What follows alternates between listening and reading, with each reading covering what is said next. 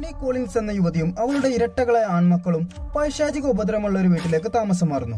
തുടർന്ന് ബുഗുൽ എന്ന പിശാചുമായി ബന്ധപ്പെട്ട അമാനുഷിക സംഭവങ്ങൾ അനുഭവിച്ചറിയാൻ തുടങ്ങുകയും ചെയ്യുന്നു. രണ്ടായിരത്തി പന്ത്രണ്ടിൽ പുറത്തിറങ്ങിയ സിനിസ്റ്റർ എന്ന ഹൊറർ മൂവിയുടെ സെക്കൻഡ് പാർട്ടായ രണ്ടായിരത്തി പതിനഞ്ചിൽ പുറത്തിറങ്ങിയ സിനിസ്റ്റർ ടു എന്ന മൂവിയാണ് ഞാൻ ഇന്നിവിടെ എക്സ്പ്ലെയിൻ ചെയ്യുന്നത്. സിനിസ്റ്റർ ആദ്യ ഭാഗം കാണാത്തവരുണ്ടെങ്കിൽ ആദ്യം അത് കണ്ടിട്ട് വന്നാൽ നിങ്ങൾക്ക് ഈ കഥയിലേക്ക് പെട്ടെന്ന് തന്നെ കണക്ഷൻ കിട്ടുന്നതാണ്. സിനിസ്റ്റർ വണ്ണിന്റെ ലിങ്ക് ഞാൻ ഡിസ്ക്രിപ്ഷനിൽ കൊടുത്തിട്ടുണ്ട്. അതല്ലെങ്കിൽ ഇപ്പോൾ മുകളിൽ ഒരു ഐക്കാർഡ് വന്നില്ല. അതിൽ ക്ലിക്ക് ചെയ്താലും മതി.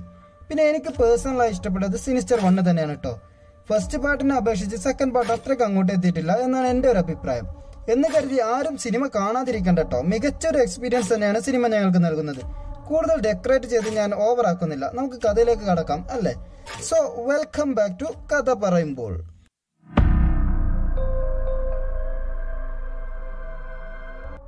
ചിത്രത്തിന്റെ തുടക്കത്തിൽ ആദ്യ ഭാഗത്തിലെ പോലെ തന്നെ ഒരു കുടുംബത്തെ അതിക്രൂരമായി കൊല ചെയ്യുന്നതാണ് കാണിക്കുന്നത്.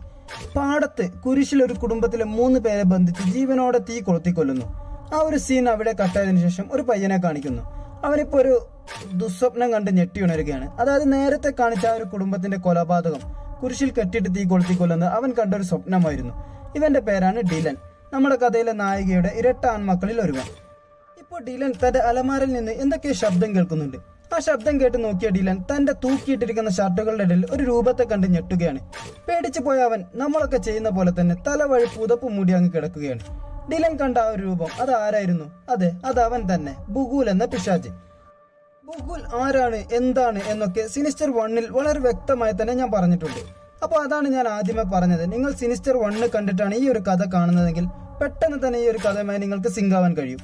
ഇപ്പൊ മൂടി പുതിച്ച് കിടക്കുന്ന ഡിലൻ തന്റെ അടുത്ത ബെഡിൽ ആരോ കിടക്കുന്നുണ്ടെന്ന് കരുതി തിരിഞ്ഞു നോക്കുകയാണ്. പെട്ടെന്നാണ് ഡിലന്റെ തന്നെ പൈശാചിക ഭാവമുള്ള ഒരു പ്രതിരൂപം. ഇത് കണ്ട് പേടിച്ചവൻ ബെഡിൽ നിന്ന് ഇറങ്ങി ഓടുകയാണ്. പിന്നീട് ഒരു കാറിൽ വന്നിറങ്ങുന്ന ഡെപ്യൂട്ടിയാണ് ഇവിടെ കാണിക്കുന്നത്. സിനിസ്റ്റർ വണ്ണ് കണ്ടിട്ടുള്ളവർക്കറിയാം. അതിലെ നായകനെ സഹായിക്കുന്ന ഒരു പോലീസുകാരനായിരുന്നു ഈ ഡെപ്യൂട്ടി. ഡെപ്യൂട്ടി എന്നുള്ളത് പോലീസിലെ ഒരു പദവിയാണ് കേട്ടോ ഇവനാണ് ഈ കഥയിലെ നമ്മുടെ ഹീറോ. ഡെപ്യൂട്ടി ഇപ്പോൾ നേരെ ഒരു ചർച്ചിലേക്കാണ് പോയത്. അവിടെ ചെന്ന് അവൻ കുമ്പസരിക്കുകയാണ്. എന്റെ സുഹൃത്തിന്റെയും ഫാമിലിയുടെ മരണത്തിന് ഒരു തരത്തിൽ ഞാനും കാരണക്കാരനാണ്. എല്ലാ രഹസ്യങ്ങളും അറിഞ്ഞപ്പോഴേക്ക് ഒരുപാട് വൈകിയിരുന്നു. ആ ഒരു പിശാചിൽ നിന്നും എനിക്ക് അവരെ രക്ഷിക്കാൻ കഴിഞ്ഞില്ല. ആ ഒരു സീൻ അവിടെ കട്ടായി. പിന്നീട് കാണിക്കുന്ന ഒരു സൂപ്പർ മാർക്കറ്റിലാണ്. ഷോപ്പിംഗ് നടത്തിക്കൊണ്ടിരിക്കുന്ന ഇവളുടെ പേരാണ് കോട്നി കോളിൻസ് ഈ കഥയിലെ നായിക. ഇപ്പൊ തുടക്കത്തിൽ കാണിച്ച ഒരു പയ്യനില്ലേ ഡിലൻ. അവനെയും അവന്റെ ഇരട്ട സഹോദരൻ ജാക്കിനെയും കാണിക്കുന്നു. കോട്നിയുടെ പൊന്നാമന മക്കളായ ഇരട്ടക്കുട്ടികളായിരുന്നു ഇവർ. ഡിലനും സാക്കും ഗണ്ണ് വെച്ച് കളിച്ചുകൊണ്ടിരിക്കുകയാണ്. ഈ ഒരു സമയം കോഡ്നിക്ക് തങ്ങളെ ആരോ ഫോളോ ചെയ്യുന്നുണ്ടെന്ന് ഒരു സംശയം.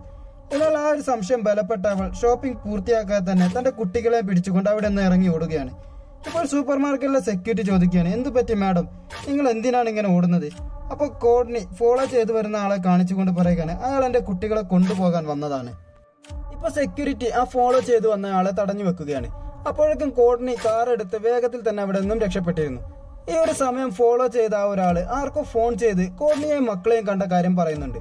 പിന്നീട് വീട്ടിലെത്തിയ കോടനിയും മക്കളും വീട്ടിനകത്തേക്ക് കയറുകയാണ്. എന്നാൽ നമ്മുടെ ഡീലൻ. അവിടെ അവരുടെ വീടിന് തൊട്ടടുത്തുള്ള ഒരു പഴയ ചർച്ചിലേക്ക് തന്നെ നോക്കി നിൽക്കുകയാണ്. ആ ചർച്ചിൽ ഇപ്പോൾ പ്രാർത്ഥനയോ കാര്യങ്ങളോ ഒന്നും തന്നെ ഇല്ലട്ടോ അത് ഉപയോഗശൂന്യമായ ഒരു ചർച്ചയായിരുന്നു.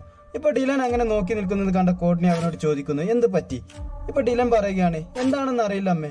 കുറച്ച് ദിവസമായി എനിക്ക് വല്ലാതെ പേടി. എന്തെങ്കിലും അപകടം സംഭവിക്കുമോ എന്നൊരു തോന്നൽ ഇപ്പൊ കോഡ്നി അങ്ങനെയൊന്നും സംഭവിക്കില്ല മോനെ എന്ന് പറഞ്ഞ് ഡിലനെ ആശ്വസിപ്പിക്കുകയാണ്. എന്നിട്ട് അവൾ നേരെ ആ ചർച്ചിലേക്കാണ് പോയത്. പിന്നീട് കോഡ്നിയുടെ ഈ വീടിന്റെ ഫോട്ടോ നമ്മുടെ ഡെപ്യൂട്ടിയുടെ നോട്ടീസ് ബോർഡിൽ പിൻ ചെയ്ത് വെച്ചിട്ടുള്ളതാണ് കാണിക്കുന്നത്.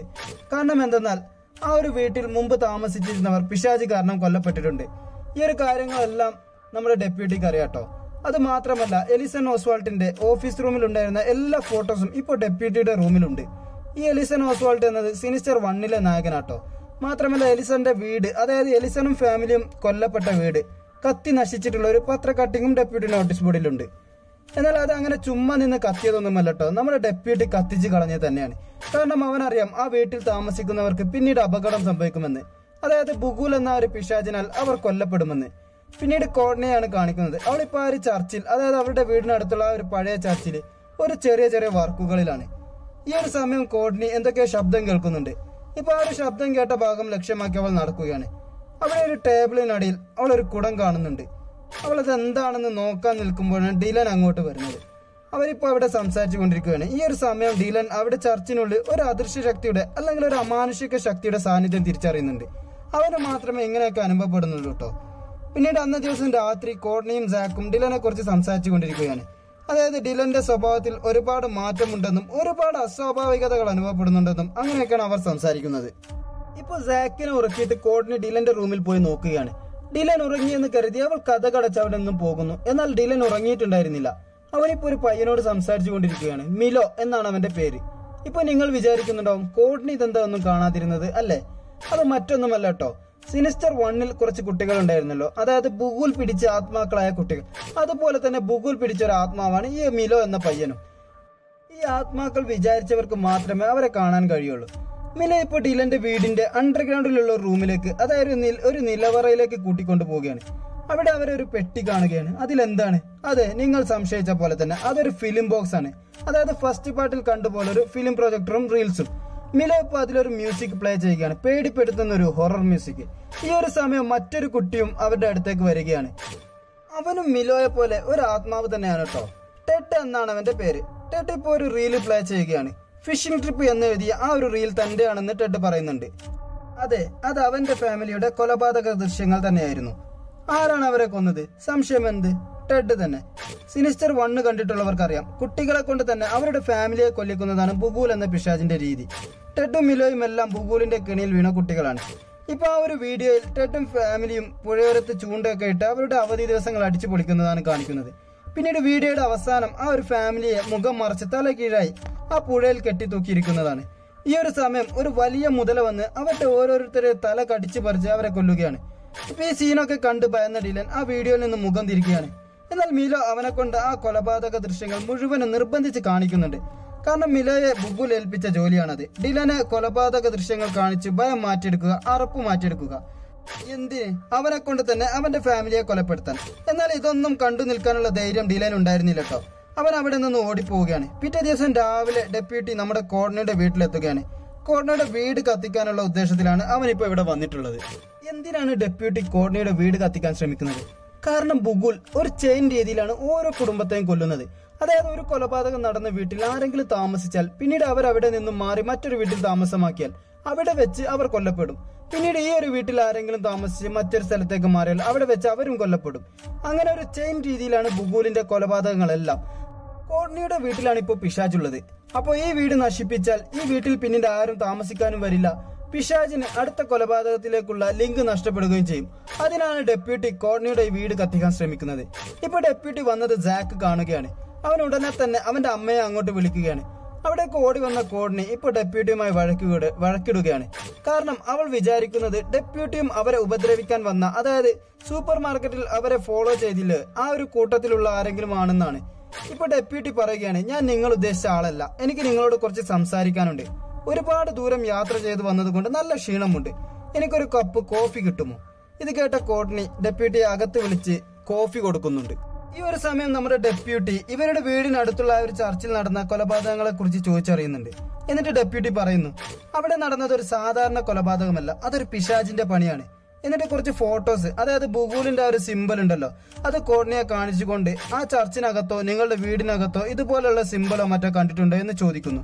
ഇല്ല ഇങ്ങനെയൊന്നും കണ്ടിട്ടില്ല എന്ന് തന്നെയായിരുന്നു കോർണിയുടെ മറുപടി. ഏതായാലും നിങ്ങൾ കുറച്ച് ശ്രദ്ധിക്കണമെന്ന് പറഞ്ഞുകൊണ്ട് ഡെപ്യൂട്ടി അവിടെ നിന്നും പോകുന്നു. എന്നാൽ അവന് നല്ല ദേഷ്യമുണ്ടായിരുന്നു. കാരണം അവന്റെ ഉദ്ദേശം അതായത് കോർണിയുടെ വീട് കത്തിക്കുക എന്നുള്ളത് നടന്നില്ലല്ലോ. പിന്നീട് അന്നേ ദിവസം രാത്രി കോർണിയുടെ വീട്ടിൽ ഡീലനും സാക്കും ടി വിയിൽ സിനിമ കണ്ടുകൊണ്ടിരിക്കുകയാണ്. ഒരു ഹൊറർ മൂവിയാണ്. ഒരു പെൺകുട്ടി അവളുടെ ഫാമിലിയെ കൊല്ലുന്നതാണ്. ഇപ്പൊ കോർണിയെ ടി വി ഓഫ് ചെയ്തുകൊണ്ട് അവരോട് പറയുകയാണ് ഇങ്ങനെയുള്ള സിനിമകളൊന്നും കുട്ടികൾ കാണാൻ പാടില്ല. ഇപ്പൊ ഡിലൻ പറയുകയാണ് എന്താണ് അമ്മേ ഇതൊന്നും ശരിക്കുള്ളതല്ലല്ലോ സിനിമയല്ലേ?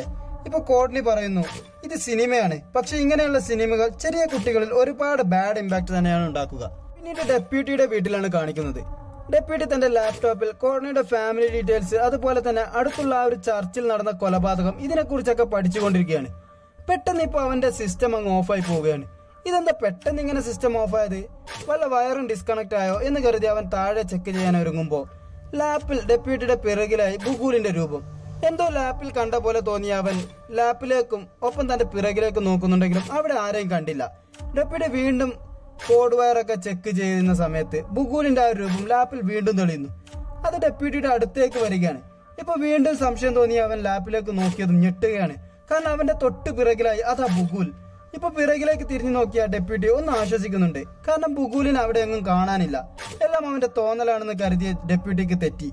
അവന്റെ ലാപ്പ് തനിയെ ഓണാകുന്നു. അതിലെ ബൂഗിയുടെ സിമ്പിൾ കൂടി രക്തമൊലിക്കുന്നു പേടിച്ചു പോയ അവൻ ലാപ്പ് അടച്ചു വെക്കുകയാണ്.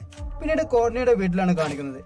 അവിടെ ഉറങ്ങിക്കൊണ്ടിരിക്കുന്ന ഡിലൻ ഒരുപാട് ദുസ്വപ്നങ്ങൾ കണ്ടുണരുകയാണ് പിന്നീട് അവന് ഉറങ്ങാൻ കഴിയുന്നില്ല. പിശാജിന്റെ വലയത്തിൽപ്പെട്ട അവൻ അബോധാവസ്ഥയിൽ തന്നെ വീടിന്റെ അണ്ടർഗ്രൗണ്ടിലേക്ക് ആ ഒരു നിലവറയിലേക്ക് പോവുകയാണ്. അവിടെ അവനെയും കാത്ത് ടെഡും മിലോയും ഉണ്ടായിരുന്നു. ഇത്തവണ പുതിയൊരു അതിഥി കൂടി അവരുടെ കൂടെ ഉണ്ട് കേട്ടോ എമ്മ അതാണ് അവളുടെ പേര്. അവളിപ്പോ ഡിലന് ഒരു ക്രിസ്മസ് മോർണിംഗ് എന്നെഴുതിയ റീൽ എടുത്ത് കാണിക്കുകയാണ്. അതായത് എമ്മ അവളുടെ ഫാമിലിയെ എങ്ങനെയാണ് കൊന്നതെന്നുള്ള വീഡിയോ ആയിരുന്നു അത്. മഞ്ഞ് മൂടിക്കിടക്കുന്ന ഒരു പ്രദേശത്തായിരുന്നു അവരുടെ വീട്.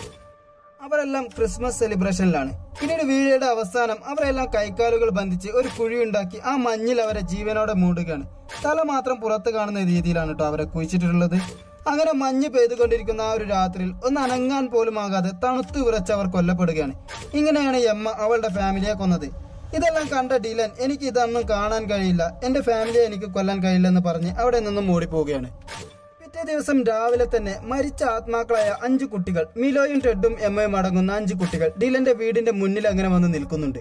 പൂകിയുടെ നിർദ്ദേശപ്രകാരം അവർക്ക് എങ്ങനെയെങ്കിലും ഡിലനെ ഇവരുടെ കൂടെ കൂട്ടണം.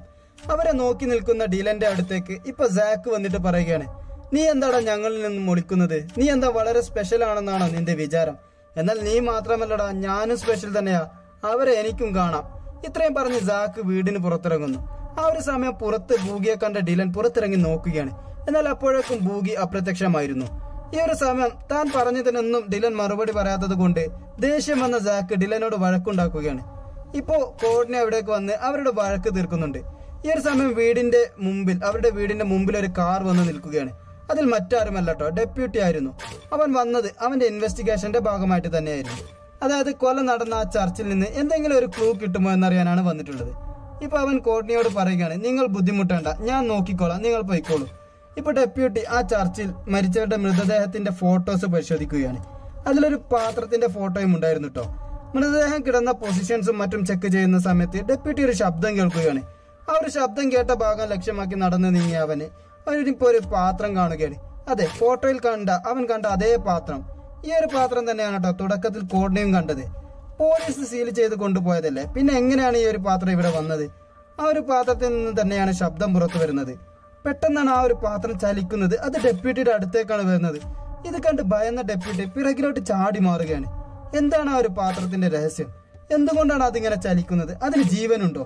ഈ ഒരു രഹസ്യം അറിയാൻ ചാനൽ ഇതുവരെ സബ്സ്ക്രൈബ് ചെയ്യാത്തവരുണ്ടെങ്കിൽ പെട്ടെന്ന് തന്നെ സബ്സ്ക്രൈബ് ചെയ്ത് വെച്ചോട്ടോ അടുത്തുള്ള ഒരു ബെല്ലൈക്കൺ കൂടി എനാബിൾ ചെയ്ത് വെച്ചോളൂ എന്നാൽ സെക്കൻഡ് പാർട്ട് അപ്ലോഡ് ചെയ്ത ഉടനെ തന്നെ നിങ്ങൾക്ക് നോട്ടിഫിക്കേഷൻ ലഭിക്കുന്നതാണ്. ഈ രഹസ്യങ്ങളൊക്കെ ഞാൻ സെക്കൻഡ് പാർട്ടിൽ പറഞ്ഞു തരാട്ടോ അപ്പൊ ഈ ഒരു പാട്ട് ഇഷ്ടപ്പെട്ടെങ്കിൽ ലൈക്ക് ചെയ്യുക ഷെയർ ചെയ്യുക. മാത്രമല്ല നിങ്ങളുടെ അഭിപ്രായങ്ങൾ കമന്റും ചെയ്യുക.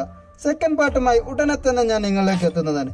അതുവരേക്കും ക്ഷമയോടെ കാത്തിരിക്കുമല്ലോ. അല്ലേ?